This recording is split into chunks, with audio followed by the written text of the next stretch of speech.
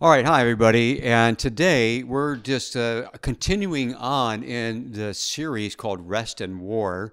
Um, and uh, again, just as a reminder, uh, when we say war, um, we are talking about spiritual warfare or spiritual battles, or sometimes the Bible uses word a word called adversity. Uh, that that that's what we mean, and that uh, in our lives as followers of Jesus, we are going to move in and out of these times of rest. Uh, as Jesus uh, was called away and, and removed himself at different times uh, into the mountains and into the hills for prayer and to be with his Father, but then would, of course, be right there engaging uh, a dark world and a demonic world uh, and ministry. So, uh, this idea for us that God will take us through times of rest and also times of spiritual battles and uh, uh, adversity, and, and maybe it's not always uh, that kind of clear cut, you know, oh, this is a rest day and this is a spiritual battle day. Wouldn't it be nice if it all showed up like that? You could just put it on your calendar. Uh, this is spiritual battle day. Uh, I'm sorry, uh, I'm sorry, Satan, but this is Monday and this is my rest day. So please, no spiritual battles on Monday. And it'd be nice, but it's not quite that neat. But I think you get where I'm coming from and what we're talking about when we're talking about times of rest and times of adversity. And and in this part of the talk today, and again we're following a series by Ben Stuart. Um, we've called ourselves uh, Rest and War, which is the, called the sermon series Rest and War, this teaching series that, but it goes along with a a video-based curriculum that is available uh, that you can find on Amazon or just about any, you know, just just uh, Baidu, Google it, whatever search engine, engine you use, you'll find it. The author's name is Ben Ben Stuart, and he's also written a book by the same title. This teaching series uh, kind of complements uh, that book and that small group curriculum. And and you know, in this particular, I think it's session three for uh, the Rest and War series with Ben Stuart. He's talking about temptation.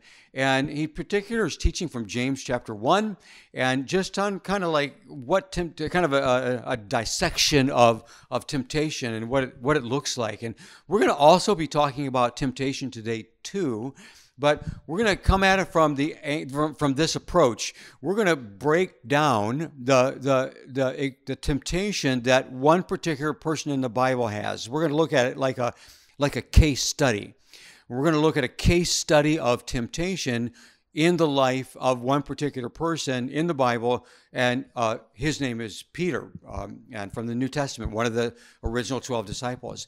And in this case study, and by the way, I, I think Peter's story of temptation um, is there for us to learn from. It's, it's, it's there in the Bible as a case study. I mean, it was a real person and it really happened, but it's there. And my point is, is that, that we can learn from it and also that we can be prepared because as followers of Jesus, we will also be tempted as, as Peter and many others were tempted. You know, you, you've probably heard something like this before that we often learn more from each other, and we learn so much from other people. We learn a lot from books. We learn a lot from the library, going to school. Um, but uh, that's one way to learn. But we also learn a lot from other people and their experiences. And, and it's often been said that, that we learn more from other people's failures uh, than we do their successes. I mean, how many times in a conference, a workshop, a retreat setting you've gone to, uh, it's the person that's talking to you not about, I was successful here, then I was successful over there, and everything worked out for me over here. You know, it's the person that is relating uh, the struggles, the failures, the, the you know, ambiguity of leadership, or, or just the experiences that, that we can have. Um, and again, we're talking here about Peter who there's a lot that we can say about him. Uh, but for today, we're going to focus on uh, a little bit of background of Peter, which, which is to say, the part of his background that, that, that's influencing the significant temptation that Peter is going to experience um, on the night that Jesus was betrayed. And I'll just go ahead and tell you right now that this was a temptation that Peter failed in. So this isn't a success story. This isn't a story of Peter facing temptation, but rising above it and getting through it unharmed and perfectly. This is actually the story of a person who faced temptation and then failed in that temptation. And maybe the only way that we can even begin to understand temptation is to uh, is to know how it and, and know how it works and know what it is, is to be able to finish the sentence, um, uh, tempted to do what? You know, temptations. I'm going to assume that probably many of you listening probably already know, especially in a biblical context, what temptation is about or what temptation is, or you can uh, you know create a biblical scenario uh, and and a tempting situation, but not assuming everything or anything, I'm going to ask the question, you know, to understand temptation and what it is. What are we being tempted to do? Temptation to do what? You know, for example, uh, no one has ever been, I don't think, been tempted to eat a whole bowl of broccoli, right? You never hear of anybody saying, Yeah, I was in a real temptation situation last night. It was late at night. I came home from work. I was tired. I felt weak. I felt vulnerable. And I opened up the refrigerator. And what did I see? I saw a big bowl of broccoli. And I just ate all of it right there. I just totally gave in to temptation. And I ate that whole bowl of broccoli. So you never, never hear anybody, anybody being tempted to eat a bowl of broccoli. Now, tempted to eat a half gallon of ice cream in one sitting? Sure, sure, we can. We, uh, I know lots of stories like that. I know that temptation. I think I'm just going to eat this whole thing right now, this whole bit of ice cream. So tempted to do what? The implied rest of the sentence is like this tempted to sin. All right, we are tempted to sin. And as followers of Jesus Christ, we have, we are, or we will be tempted to sin uh, because we have an enemy of our souls that is constantly bringing temptations to us, to temptations to do what? Temptations to sin, which begs the question what is sin? And I thought this might be helpful right here is you just take a moment and take a look at what the Bible says is sin. I'm looking at this more closely. All right, so there are several words that get used uh, for the for the Hebrew and Greek words for sin. You, you probably know, you may know that the Bible was written originally in Hebrew, the Hebrew language, and the Greek language, um, and some Aramaic, uh, but mostly the overwhelming majority of it is in Hebrew and in uh, Greek. And now, when that gets translated into, it gets been translated into multiple languages of the world, many, many of them. But when it gets translated into English, that the Hebrew and Greek words for sin get translated into the English words iniquity or transgression, and of course, of course, the word sin. So the, the word iniquity in its original meaning meant and described a behavior that was crooked. All right. So um, an iniquity was something that was not straight or was crooked, or a transgression described the breaking of a trust. So when a trust was broken, this was called a transgression. When a contract was broken, this was called a transgression.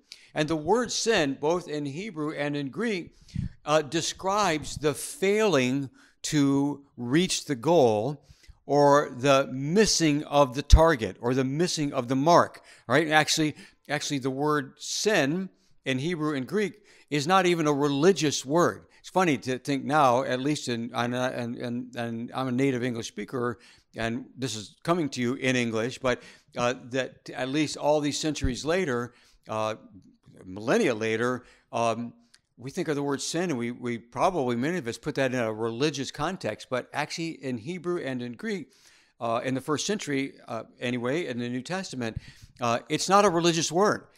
If you shoot an arrow and you're shooting at a target, you want to knock an apple off of the tree. You want to you want that arrow to fly and hit that apple, and you miss it. Uh, you've sinned. That's you've you've missed the mark. You've missed the goal. Uh, uh, of course, this makes us want to ask yet another question. What's the target? What's the goal? If, if sin is missing the goal, then what is the goal? What's our target? And, and that gets a little more complicated.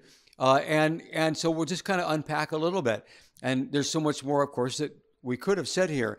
But think of it this way every human, every human person, according to uh, the teaching of the Bible, was made in the image of God. Every human is the image of God. So we bear his image and his likeness.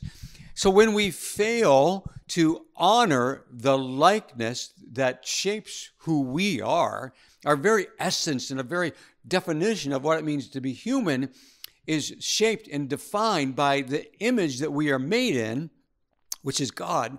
And when this image bearer fails to honor um, the God whose image we bear, uh, then we are missing the goal because that's the goal, that's the target to bear rightly, appropriately, truly, sincerely, authentically, purely uh, the image of God Himself. And then when we fail to do this, honor each other, other image bearers of God, we are also missing the goal, missing the target, um, or, or sinning. All right. So, so uh, the famous Ten Commandments from Exodus chapter 20 are a description of the some of the ways that this can happen.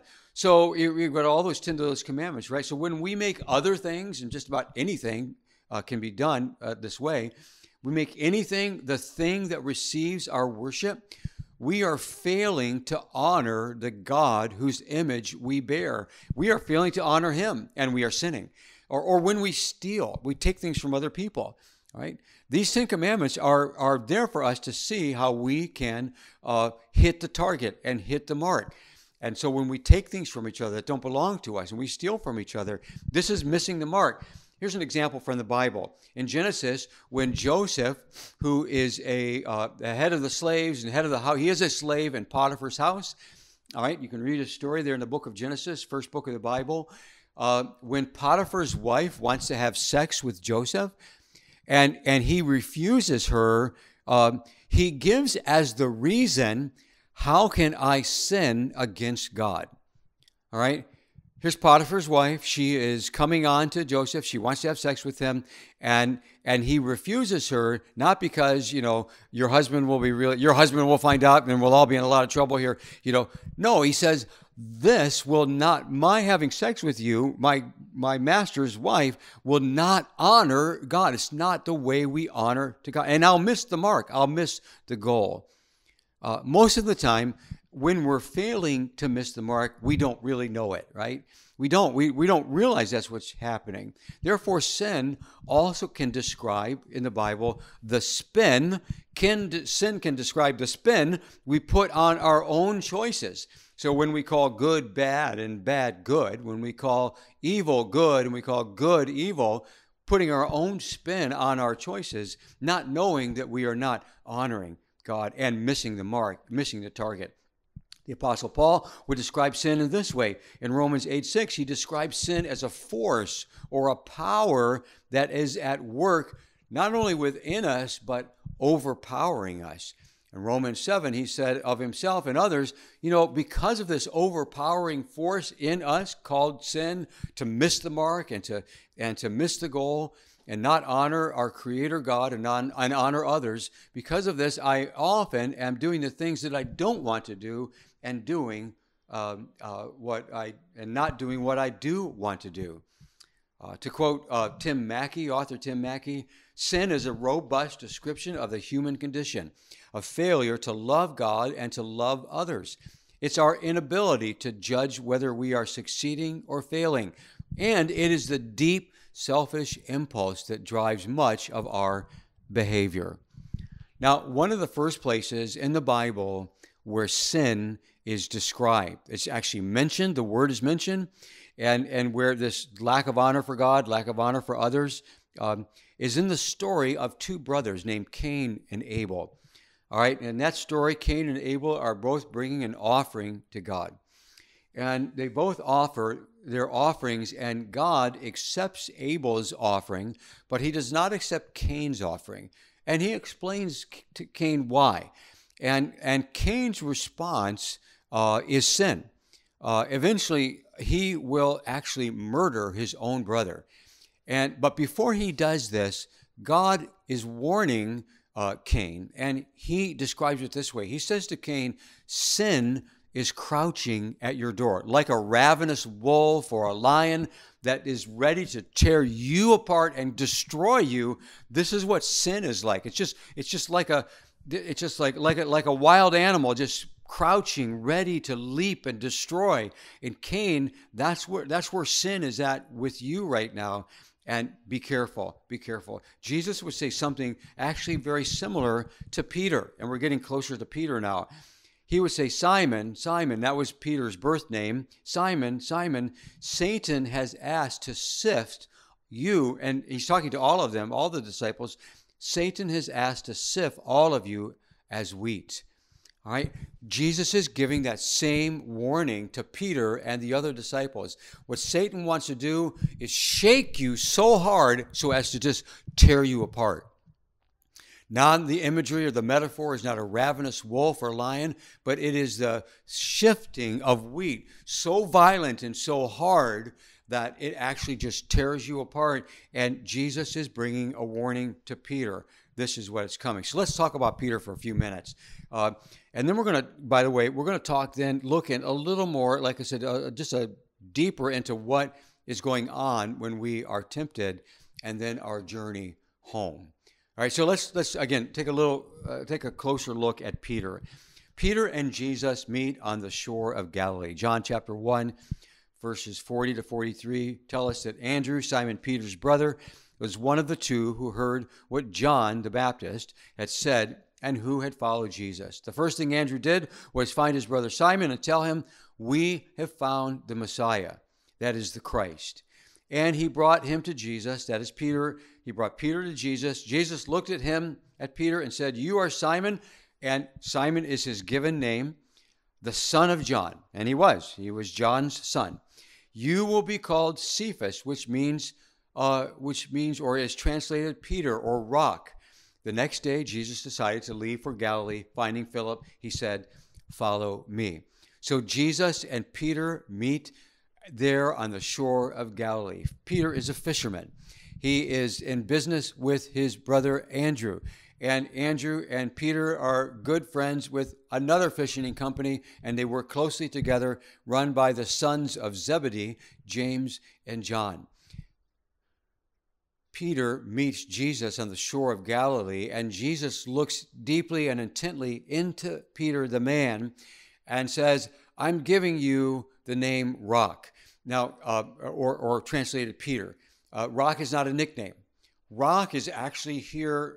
Uh, in fact, uh, what I found out was that Rock or Peter was not a name in the first century. That's that's not like I'm, your name is Simon. I'm going to call you Andrew. That Andrew's a name, or I'm going to call you Jacob. Jacob was a name. Or your name is Simon. I'm going to call you Moses. Those are all biblical. Those are all names in the first century. But Rock or Cephas was not. So it's not it's it's giving a name, but more than that is it's actually a prophetic word spoken by Jesus over Peter. Not long after this, and this is you can read this in Luke chapter five. Uh, Peter the fisherman would be given a new vocation. They're there together, um, and they're they're they're fishing all night. Uh, once again, they're fishing, and and they're just pulling in this large net of miraculous catch of fish and they know that this is just not a good day. This is this is a lot more than a good day. This is a lot more than an uh, an unusual large catch. Wait, wait, wait till we get home and tell everybody how many fish we caught today. Simon, Peter, Peter, and the rest all know that this is a result of the presence of Christ with them. And out of that moment, Peter falls before Jesus. He knows he has experienced some kind of a miracle with Jesus, and because of Jesus, Jesus invites Peter and the others to come and follow him. He's already asked them to follow him. Now he's asking them to take up a new vocation. You've been fishermen. Now, what I want you to do is fish for men. Come and join me to bring the kingdom of God to the world. And Peter has a new vocational uh, assignment to come with Jesus and to bring the kingdom as a fisher of men. Sometime later in Matthew chapter 14, again on a boat, they were often on the Sea of Galilee, and they're on a boat, uh, and a storm comes across that sea, which is very common uh, in violent storms because of the way the sea, or really a large lake, sets uh, in, uh, uh, with a mountain range surrounding it. So these winds would whip up through the mountains and come across that body of water. And now these are all professional fishermen, and they grew up on the Galilee, so they they know a bad storm when they see it, and they know when they're in trouble. You know, we've lived through all of our lives. We know a dangerous situation, and they are in one. They're really concerned, and they're afraid they're going to sink. All right, and and they're very very afraid. Jesus this night is not with them, and he begins to walk toward them on the water. Simon Peter uh, calls out, recognizes that it's Jesus, and and asks for Jesus to call to him. Simon wants to walk. Peter wants to walk on the water and walk toward toward Jesus, uh, and and he did. Simon Peter uh, uh, got out of the boat. He said, Lord, if it's you, Peter replied, Tell me to come to you on the water. Come, Jesus said. And then Peter got out of the boat and walked on the water, came toward Jesus. But when he saw the wind, he was afraid and beginning to sink, cried out, Lord, save me. Immediately, Jesus reached out his hand and caught him. You of little faith, he said, why did you doubt? And when they climbed into the boat, the wind died down, and those who were with the boat worshiped him, uh, or in the boat, worshiped him, saying, Truly, you are the Son of God. At another time, uh, as their relationship would continue to grow, Peter is with Jesus along the other disciples, and Jesus asked all of his 12 followers, those, those 12 closest to him, he asked them, Hey, you know, I know people are talking about me. I know the miracles and the things I'm saying and the teaching. Uh, people are talking and they're saying different things about who I am. He said, What are you hearing? What are people saying about me? And, and they came up with a few things. Well, some people said you're Elijah. Some people you're John the Baptist who's come back from the dead. And then Jesus said, and now how about you guys? How about how about you? What who do you say that I am? Now Peter says something here for the first time. And Jesus would acknowledge that, that Peter says this again prophetically. He can say this because God has given it to Peter to say. He said, You are the Messiah. You are the anointed one from God, the one greater than Moses, the one God said he would send to bring salvation to the world. You are the Messiah. You are the Son of the living God. And then Jesus responded by giving a blessing to Simon. He said, Simon, or, or Peter, son of Jonah, for this was not revealed to you by flesh and blood, but my Father in heaven. And I tell you that you are Peter, and on this rock I will build my church. And the gates of Hades will not overcome it. And I will give you the keys of the kingdom of heaven. Whatever you bind on earth will be bound in heaven, and whatever you loose on earth will be loosed in heaven. Then we read a little farther uh, after Jesus talks about his going to Jerusalem and his suffering and his cross, Peter responds after just proclaiming that you are God, you are the Son of God, the Messiah. Peter, hearing that Jesus is talking about his own sacrificial death, Peter responds, No, absolutely no. Peter took him aside and said, and rebuked him said, Never, Lord. He said, This shall never happen to you. And then you get the most one of the more most confrontational sentences you're going to see in all of the Bible. Jesus turned to and said to Peter, "Get behind me, Satan. Get behind me, Satan. You are a stumbling block to me. You do not have in mind the concerns of God, but merely human concerns. Is he calling Peter Satan, or does he recognize Satan unknowingly speaking through Peter to bring temptation uh, to Jesus? No, you don't have to go to the cross. And Jesus rebukes it immediately. You're a stumbling block to me. You do not have in mind the concerns of God, but merely human concerns. This is Peter too. You know, in the Gospel of John, we we see another time where Jesus is teaching on discipleship. Many, many people are following Jesus. They're following him because of the food, the bread, uh, the miracles. This is fantastic. This is amazing.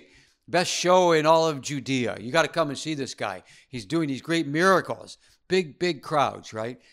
Jesus has been teaching about discipleship, about following him, not following him around so you can see great miracles, but following him in full surrender of your life. In fact, he says it this way He said, Unless you eat of my flesh and drink of you, my blood, you would have no part in me. And if that sounds pretty radical and pretty, well, you know, like intense, uh, now it sounded intense then too. It was a real call, a kind of a drawing a line to say you've got to cross over into another level of commitment to me, Jesus would say. It was a very real, so real that the Bible says in John chapter 6, many people who'd been following him decided, we're out of here. We're done. We're not, we're, we're not going there. We're not following Jesus in this way. We're not giving our lives. We're not, uh, we're not eating of his flesh or drinking of his blood. Whoa, no, no, no way. And, and Jesus, the Bible says, looks at Peter and the other disciples and says, How about you guys? Are, are you going to leave too? And Peter's response, actually, he says, Lord, to whom shall we go? And in those words, you can, I think, see some despair and frustration. Hey, we've come this far from you and we have paid a great price. Don't tell me you're not going to become the Messiah that we think you're going to become. I, I just can't believe that. We're ready to go there. We're ready to eat the flesh and drink the blood, just as you said. But but but we have no place to go if we don't go with you. We're stuck here. And you have the words of eternal life. Where else can we go? We have come to believe and to know that you are the Holy One of God. You know, not long after Peter makes that tremendous confession of the true identity of Jesus, he is on a mountain with James and John, those former partners in the fishing business, with Jesus. And they are there and they see the Spirit of God. They see God descend in a cloud upon the, the four of them James and John and Peter and Jesus. And they see Jesus transfigured before them. They see Jesus, the man Jesus, changed before them. And not so much change because Jesus always had and carried and within him the glory of God because he was God. They had just not seen it, not like today. I was reading, getting ready for today, that this author was saying that this was the first and last time anyone is going has seen the glory of God in the person of Jesus. The next time we see this, he's going to be coming back. And what Peter and James and John saw on that day on the mountain, his radiant glory, the glory of God in the man Jesus, we will see on the day that he returns. Taking Peter's earliest confession before he saw Jesus in all of his glory, saying, You are the Christ, the Son of the living God, and having it stunningly confirmed on the Mount of Transfiguration. Peter has made his confession. He's faced his loyal despair, and now he experiences a vision of who Jesus really is. They're witnessing nothing less than the unveiled glory of God in the person of Jesus. Now you take all of that you take, and there's more experiences, but uh, those are some of the highlights of the experience that Jesus has, uh, Peter has had with Jesus. You know, some of the highs and some of the lows, and you come to uh, that last meal. They don't know it's the last meal, and you can read about this in John chapter 13 in the Gospels, Matthew, Mark, and Luke. And this is the meal. This is the Passover meal before uh, Jesus is crucified and they've come together to eat this meal, and there's confusion at the table. Maybe there's confusion because it is going to be their last meal together. Jesus is going to be crucified. He's going to offer his life as a ransom for sin on the next day. But they don't know that. Kind of like being in one of those situations, you know, where you sense something's going on here, but I, I don't know what it is. There's maybe someone in the room knows something. You find out later they knew that this was going to be the last meal. They knew that something, but no one else knew, and you only know later. That's why maybe it seemed so strange that night. There was confusion that night at the meal. Jesus came to Simon Peter and said, uh, uh, said to him, or he came to Simon Peter, who said to him, Lord, are you going to wash my feet? Therefore, dinner that night, and Jesus has taken on the role of the servant so that he might wash the feet of his disciples.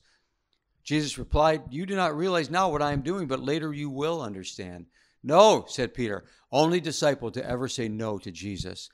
You shall never wash my feet.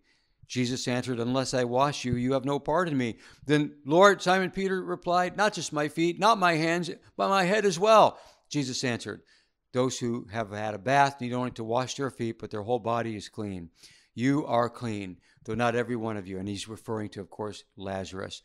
And then he tells them what we read earlier You, Simon, Simon, He's speaking to Simon by name, but he's talking to all of them.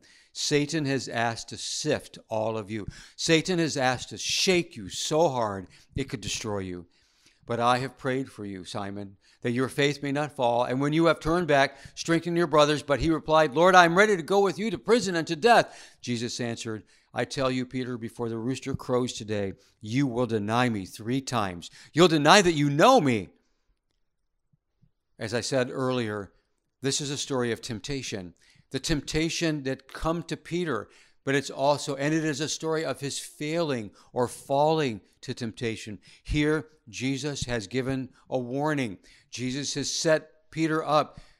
Peter, Satan is going to come to tempt you. It's going to be severe. It's going to be harsh. It's going to be overwhelming. You're going to feel concern and worry and fear for your very life. I'm warning you so that you do not fail, so that you do not fall. In another place, Jesus would again warn Peter I want you to watch and pray so that you will not fall into temptation. And then he says this the spirit is willing, but the flesh is weak. So many times, this is where we are when we face our own temptations. In our spirit and in our minds, we're convinced we're going to get through this. We're going to take this temptation on and we're going to get through it. But the flesh that we rely on, our own strength, will not be enough. We must pray. Jesus had been praying for Peter, and now he's telling Peter, you must pray for yourself as well. And then, of course, there's the actual moment of the temptation and Peter's falling. Mark chapter 14. While Peter was below in the courtyard, it's the same courtyard where they had taken Jesus on the night he was betrayed for his trial. There in that courtyard, one of the servant girls of the high priest came by, and when she saw Peter warming himself, she looked closely at him and said, You also were with the Nazarene, another word for Jesus. But he denied it. Peter denied it. He said, I don't know. I don't understand what you're talking about. He said, I, and, and he went out into the entryway. When the servant girl saw him in the entryway, she said it again to those standing around now. Everybody, the small crowd gathered around the entryway. This guy, this fellow is one of them. And again, he denied it. I don't know what you're talking about. I don't know what you're talking about. After a little while, those standing near said to Peter, Surely, come on, you are you're you must be one of them, for you are a Galilean. How do they know that? Galileans had a very peculiar, particular accent, and they knew immediately. Peter tried to deny it. He did. He began to call down curses and swore to them, I don't know this man you're talking about. But his accent was betraying him. Immediately the rooster crowed the second time, and Peter remembered the words of Jesus spoken to him Before the rooster crows twice, you will disown me three times. And Peter broke down and wept. Breaking down a temptation. It's brutal, it's hard to see a man, uh, a person, deny Jesus and fall to temptation and to see it happen. It's hard to see it in our own lives. Well, what can we learn from Peter's temptation to prepare for our own? The story of Peter walking on water is a parable of faith and temptation, isn't it? We walk on water sometimes, but then we begin to see the waves and we feel the wind and we feel the resistance and we feel the opposition. We're experiencing it, and the opposition is real. I'm not saying it's just we're making it up in our head. The opposition is real. The threat and danger are real. And we get our eyes off of Jesus and onto the opposition and onto the threat, and we begin to sink. Most of all, and most of us know what it's like to get caught between the realities and temptations of life on the one side against the, un, uh, against the certainties of an unseen kingdom. I got my life over here. I got my boss. I got my employer that's threatening to lay me off. I've got a mortgage payment. I've got, you know, uh, behaviors. I've got addictions that I struggle with.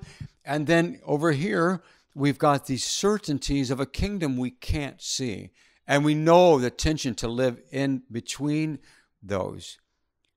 The key is to ask yourself, where am I looking? Where am I looking? And what am I looking at? And I'm not talking now about uh, uh, you know, uh, pornography. That's something we always kind of go to right away, right? When we talk about temptation. But I'm not talking just about literally what we're looking at. And maybe, maybe it's even better to say, what are we looking at and what are we listening to? You know, Paul would say in Philippians 4 8, brothers and sisters, whatever is true, whatever is noble, whatever is right, whatever is pure, whatever is lovely, whatever is admirable, if anything is excellent or praiseworthy, think about such things. Where's your mind? And where are your thoughts taking you? And what are your ears listening to? And what are your eyes looking at? The devil wants nothing more than to to, to, control our gaze and to control our listening so that our heads and our hearts are filled with those things that are untruthful, that are not honoring of God, that are going to support the sin that he wants to tempt us with. The devil wants us to believe that we should be able to experience everything. Otherwise, we're going to be naive. Otherwise, we're going to be left out. We're going to end up looking stupid. It's always the same lie. What are you looking at? What are you listening to? The devil wants us to bring us into temptation. There are seeds of temptation that I want to talk about real quickly despair, dis- disappointment, and disillusionment. In John 6, Jesus is taught on discipleship, and many decide to leave him. And it, it's, it's a despair that the disciples are seeing. There's a lot of people leaving. Wow, man, a lot of people are leaving. A lot of people don't agree with Jesus. A lot of people don't agree with us for following him. I don't know. This is pretty discouraging. You know, yesterday, this is everything was going great. The uh, numbers were awesome. And now a despair is settling in, and the despair becomes a seed for later and greater sin. Jesus, who has done great miracles and is clearly the Messiah, is going to suffer. This is a scandal we feel stuck. We've left everything to be with you, Jesus. Where else can we go? We see Jesus, but our but our despair over our disappointment and our circumstances of following him are starting to overwhelm us and we are subject even more so to temptation and to deny him and walk away from him not honor the God whose image we bear by not honoring others as well Peter's been asked to submit to something. It's hard to accept this. We have a choice that we can make. We can leave like the others, or we can follow where it leads us, or, or we can follow Jesus. Uh, we have a choice before us. The frustration, second seed, is disappointment. The frustration and confusion as Jesus washes the feet of his disciples, taking on the role of, disciple, of, of, of, a, of a servant, brings about a, a level of disappointment oh, this is not what I expect. I'm disappointed.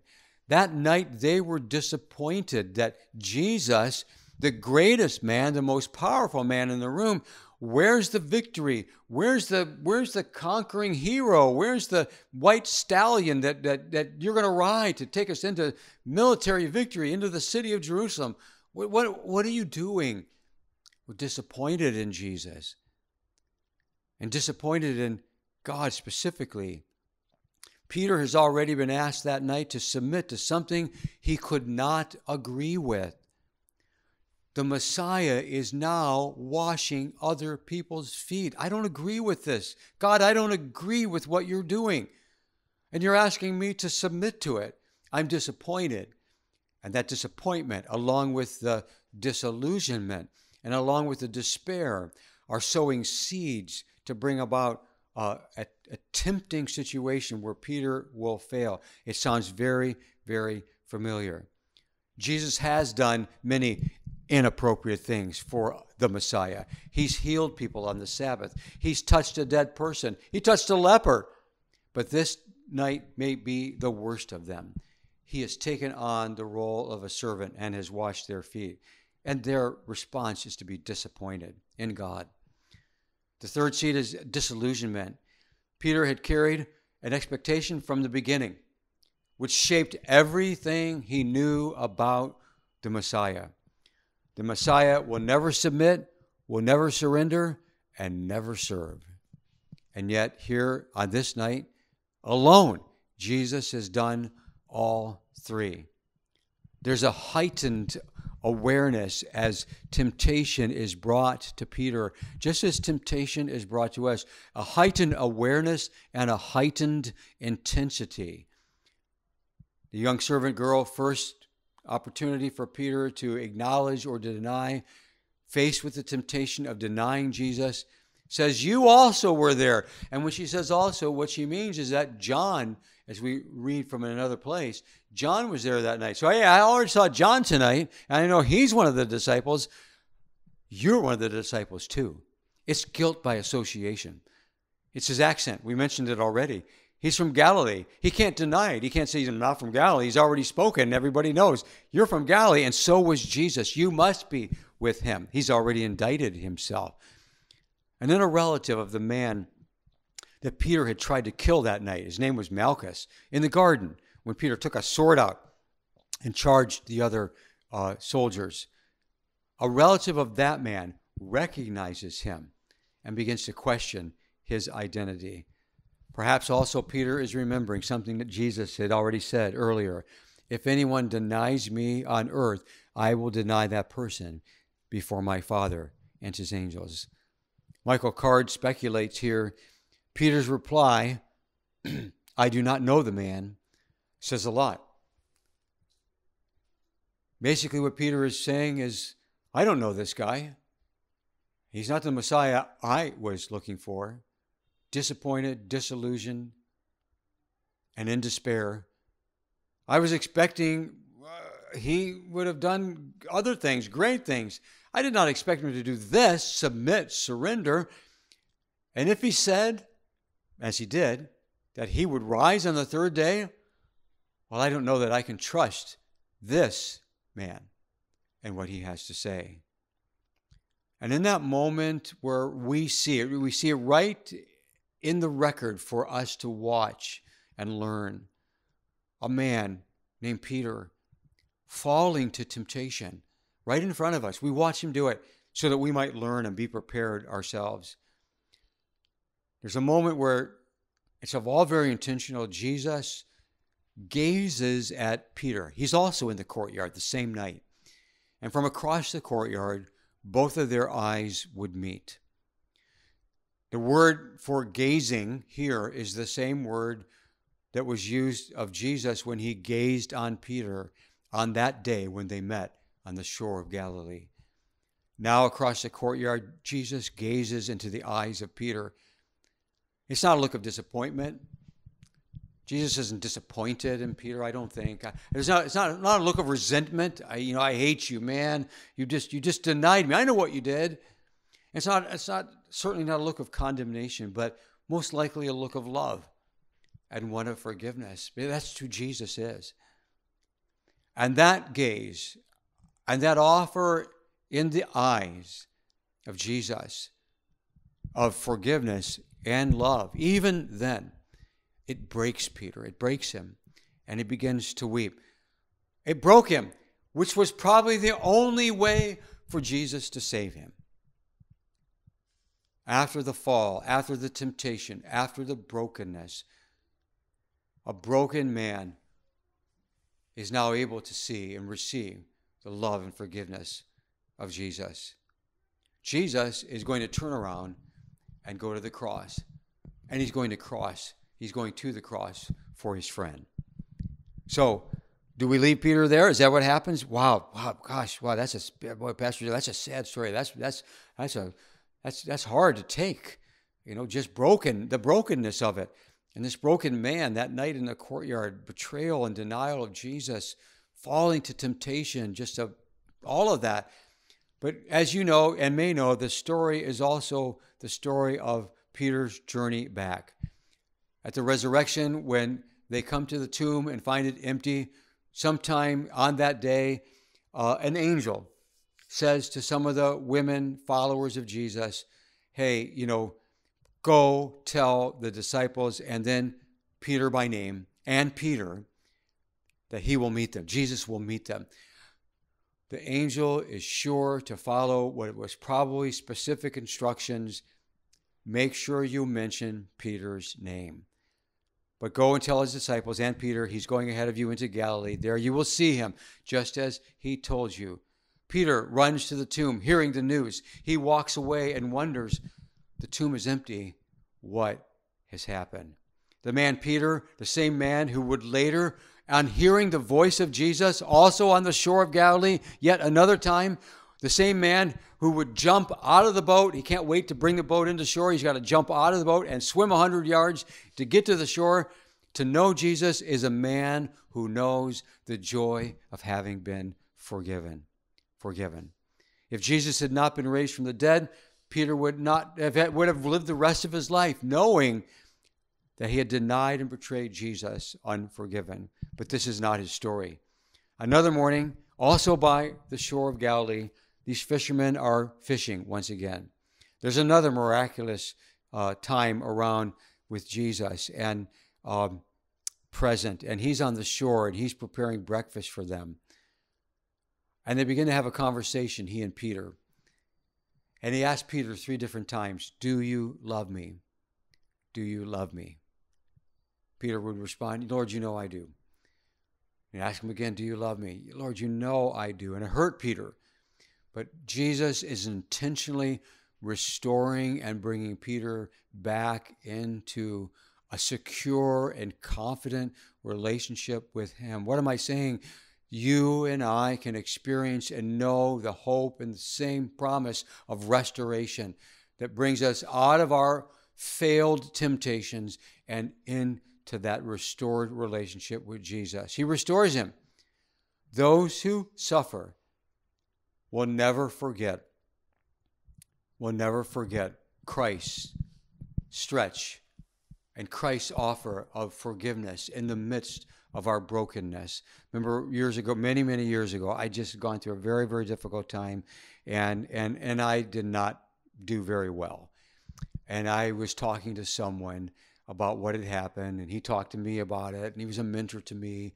I was a very young guy, and he said to me, he said, he said, "You feel pretty bad, don't you?" I said, "Yeah, I do."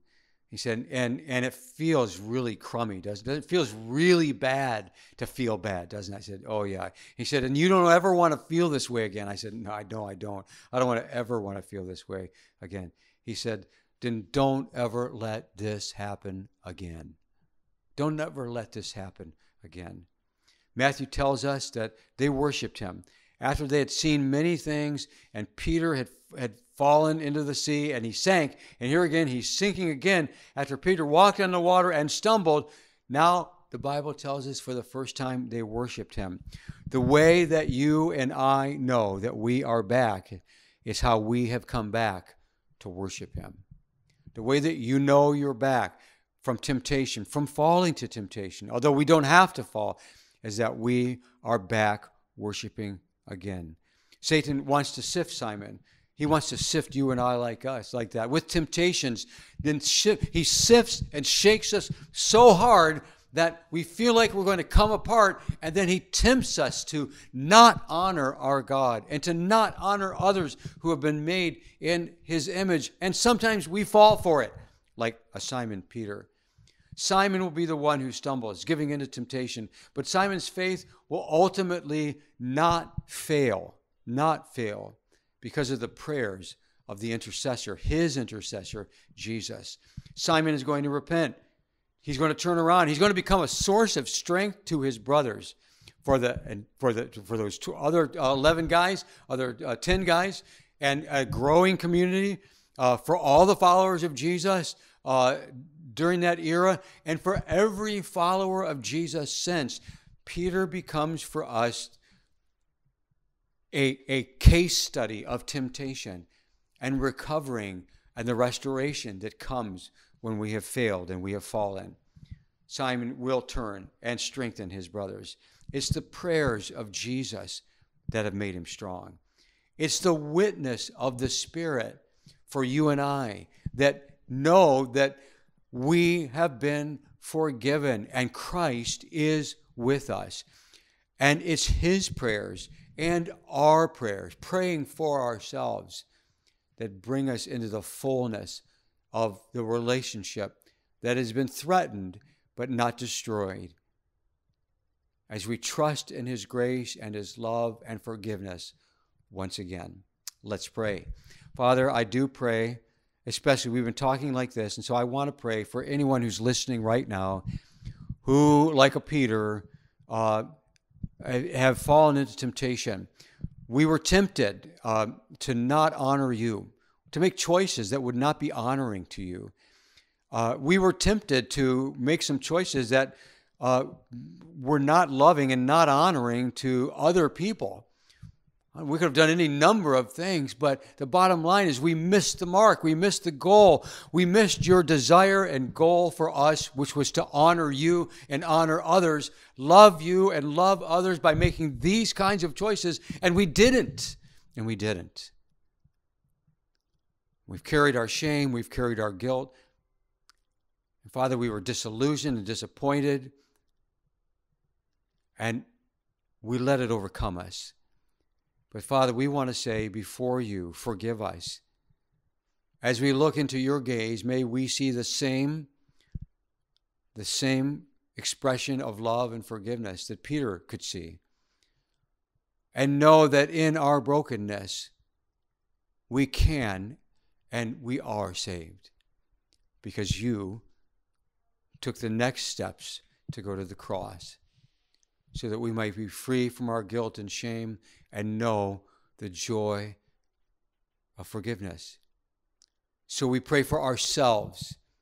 Our spirit might be willing, but wow, so much of us is so weak, and we need your help and we need your strength. We pray and give thanks that you're praying for us. We pray and ask for the witness of the Spirit of God who is in us to let us know that all this is sure and certain in Jesus.